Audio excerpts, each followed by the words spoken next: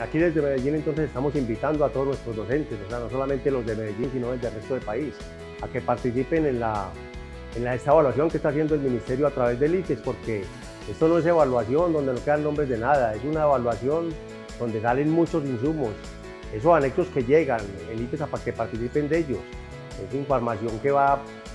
nos va a consolidar información, nos va a dar realidades de contexto, nos va a dar tres anexos importantes frente a todo lo socioemocional, frente a todo lo, lo socioeconómico, frente a unos pocos de factores asociados. Entonces, repito, es una invitación importante, aquí no están evaluando nombre a nombre, ni estudiantes, ni docentes, ni directivos, pero es una participación dentro de ese colectivo porque cuando uno va a evaluar no solamente tiene que ver una, una, una población objetivo como son el caso de nuestros niños, hay que, hay que dejar que participen dentro de esas identificaciones posibles